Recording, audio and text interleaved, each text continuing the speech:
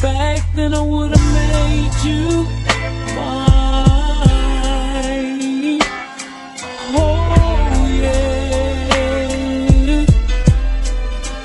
If I had to die a thousand times a day, I would do